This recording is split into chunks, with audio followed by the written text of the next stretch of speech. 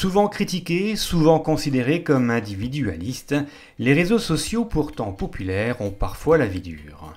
Alors voici un bel exemple pour casser quelques préjugés. L'histoire est née sur la toile, sur une page bien connue des Rombaisiens.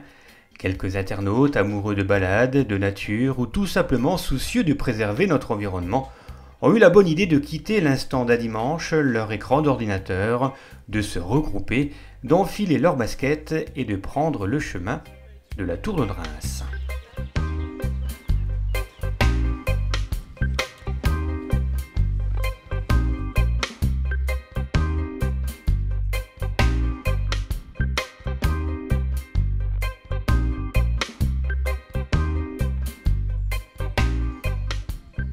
Là-haut, au sommet de la colline et surtout au pied de la tour de Reims, le spectacle est désolant.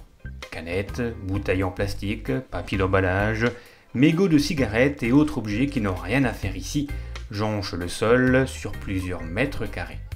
Alors, armé de gants et de sacs poubelles, notre petit groupe de volontaires passe à l'action. Le site va être nettoyé de tous ces détritus déposés là depuis quelques jours, voire plusieurs années.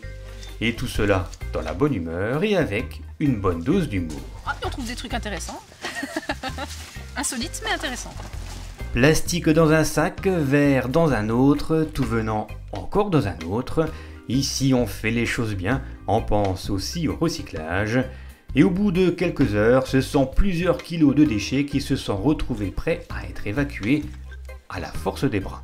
Mais avant, il était l'heure de pique-niquer, mais aussi d'écouter l'intervention d'Anna Rizzuti, auteur d'une étude intitulée La colline de Reims, tour et détour, une étude riche en informations sur l'histoire de cette tour de Reims, construite à l'initiative du Club Vosgien, que vous pouvez retrouver à la médiathèque La Pléiade.